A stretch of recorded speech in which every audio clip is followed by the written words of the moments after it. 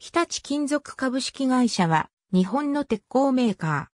ー。1956年4月に日立製作所が全額出資して日立グループの鉄鋼業、金属部門を統合分立させた会社である。2013年7月、同じく1956年に日立製作所から電線部門を分離して設立された日立電線株式会社を吸収合併したため、日立グループで日立製作所に次ぐ規模となった。委員会設置会社、サミズ会及び緑会の会員企業であり、三和グループに属している。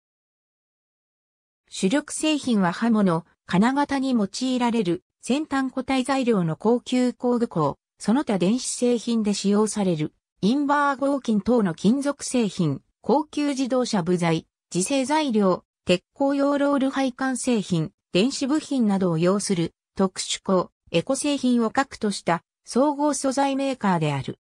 2013年には旧日立電線の製品である鉄道車両用電線、ケーブルや医療機器用電線、自動電装用部品、ブレーキホースなども製品群に加わった。売上高鉄鋼メーカー第4位、高性能鉄鋼材料に特化している。特殊鋼、マレブル鋳鉄、ダクタイル鋳鉄、自製材料の開発、製造に関し最も古い歴史を持つ、伝統と最先端技術の調和の取れた融合体となっている。永久磁石では、最も強力とされている、ネオジム磁石は、日立金属の佐川正虎によって開発された。メセナの一環として、日本美術刀剣保存協会が行う玉鋼、製造法たたらぶきの支援も行っている。経済産業省と東京証券取引所が選ぶ女性活躍を推進している企業、なでしこ銘柄に選定されている。旧日立電線の沿革は、日立電線を参照。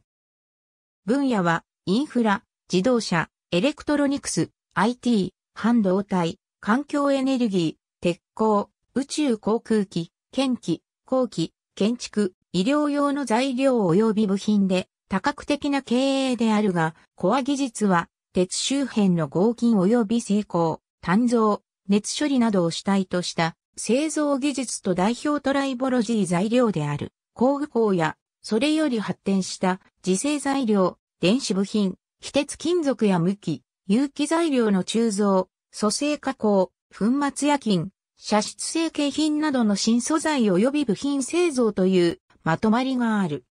株式市場では鉄鋼部門に属するが、研究開発型企業を施行しているところも特徴的であり、マテリアルズマジックをコーポレートブランドとして掲げている。電気炉メーカーであり、特に鉄鋼材料においても、最も合金設計が精密な高級特殊鋼分野に特化している。また、グローバル化展開も他の特殊鋼メーカーより先んじた体制を2004年の参加商社の再編により構築している。